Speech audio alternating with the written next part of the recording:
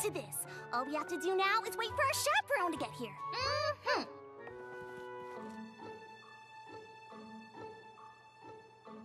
So when's Rainbow Dash coming? I thought you were gonna ask Applejack. I don't suppose you asked Rarity?